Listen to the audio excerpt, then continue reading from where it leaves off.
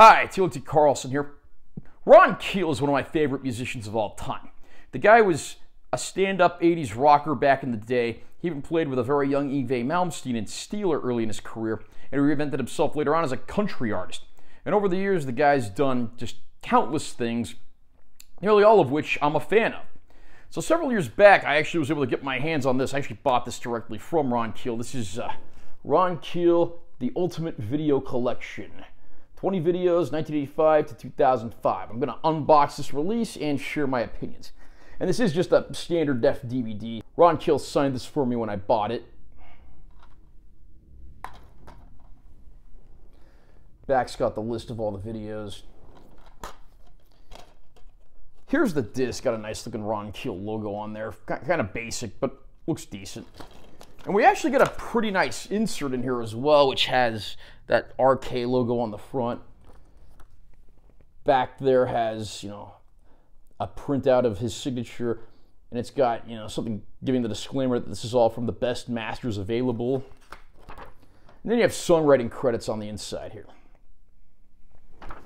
Yeah, like I said, Ron Keel's career has been all over the place. He's probably best known for his 80s band Keel, with which he recorded songs like The Right to Rock and did the famous cover of Patti Smith's Because of the Night.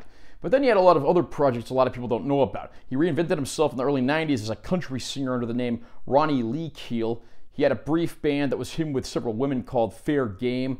And then later on, he had a band called Iron Horse that sort of combined the rock and country elements.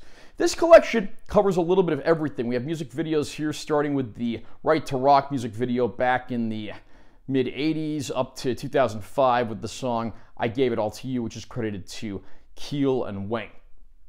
Now, like I said inside the booklet there on that insert, these are taken from the best masters available, and that's always a bit of a red flag when it comes to picture quality and things like that. The quality of these videos is very inconsistent. Some of them look like they were videotaped off a television onto a VHS tape. Others look like they were taken from slightly better sources, but in some ways, I think this sort of adds to the charm. One of the music videos even has an excerpt from an MTV giveaway contest with a chance to fly out to New York City and see Keel perform. So I love seeing moments like that. Again, don't come in here expecting picture perfect quality or the best sound available. It probably is the best any of these will ever look, and that's a bit unfortunate. Now, unfortunately, another problem with this set is there's no play all button. So every time you watch a video, you have to go back to the menu and select the next one. And it doesn't help that the cursor resets to the first video after each one. So if this gets reissued, it really needs a play all button. If you're a fan of Ron Keel, this is certainly worth picking up. Just keep your expectations in check as far as the production values go. How about you? Are you a Ron Keel fan? What's your favorite band he ever played with? What's your favorite video in this set? Comment down below and let me know what you think. Also, remember to subscribe to this channel for more content. I'm always posting new videos. And make sure you give one a like if you found it helpful. I'm T.L.T. Carlson. I'll see you next time.